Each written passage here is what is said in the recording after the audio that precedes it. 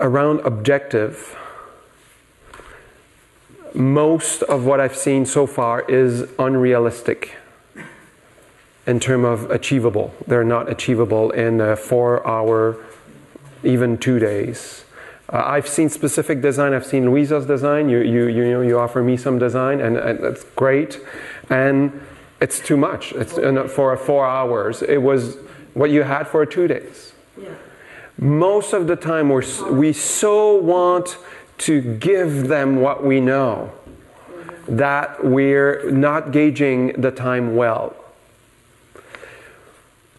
And it's not what we know that's important, it's what they're able to take in, integrate.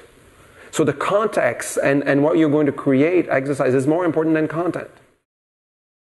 I want to give you some peace, give me some peace in, inside of me uh, when I realize that, that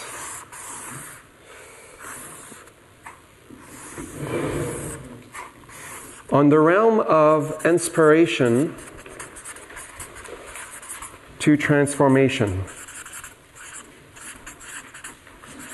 Transformation.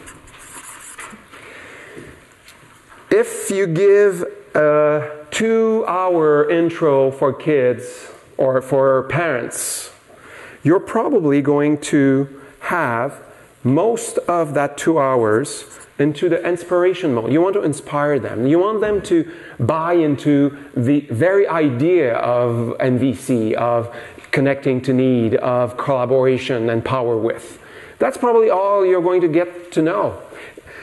Probably that with a three day, maybe six days, you're going to have some inspiration there, meaning you wanted, again, them buy in and them some little transformation into okay i'm going to talk to my colleague differently or i'm going you know? And then for the full transformation what most of you went through it's at least a year program and most of the time it's it's it's continuous so so here and this is the the morning sometimes you have two hours and you want to create transformation don't don't even hope for that uh, you know don't hope for transformation there so and, and for me, that model helped me just relax a little bit, you know.